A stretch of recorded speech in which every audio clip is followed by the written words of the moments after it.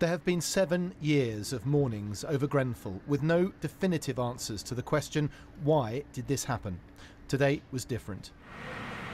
But this is how it all began. A fridge caught fire. The owner called 999, then got out, then turned on his camera. 31 minutes later, flames reached the roof, then unstoppable. Buildings are designed to prevent fires spreading.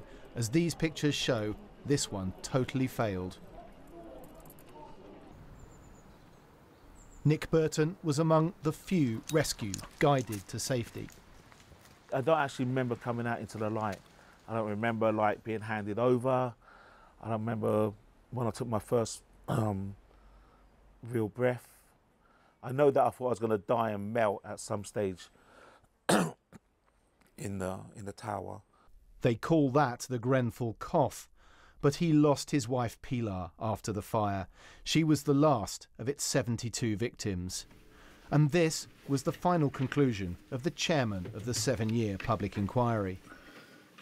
The simple truth is that the deaths that occurred were all avoidable, and those who lived in the tower were badly failed over a number of years and in a number of different ways by those who were responsible for ensuring the safety of the building and its occupants. Human life was never a priority, and we lost friends, neighbours, and loved ones in the most horrific way through greed, corruption, incompetence, and negligence.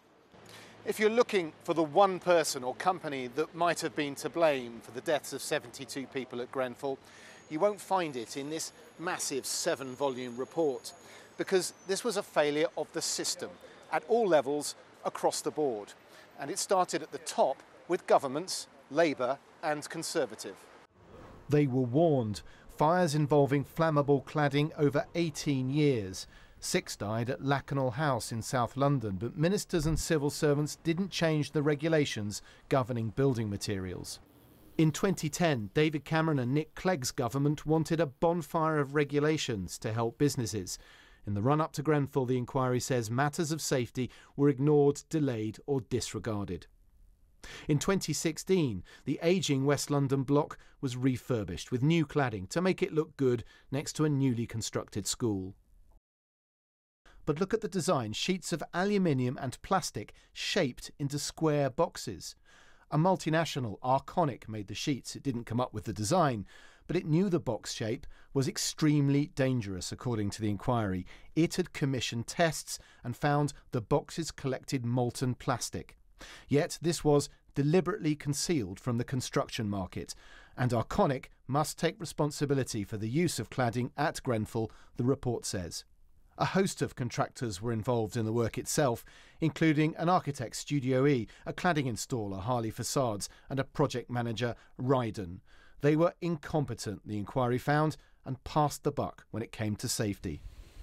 The Prime Minister visited Grenfell two weeks ago without any publicity, leaving a wreath. Today he said it was imperative there was a swift police investigation, and he went further. So I can tell the House today that this government will write to all companies found by the inquiry to be part of these horrific failings as the first step to stopping them being awarded government contracts. And we will, of course, support the Metropolitan Police and the prosecutors as they complete their investigations.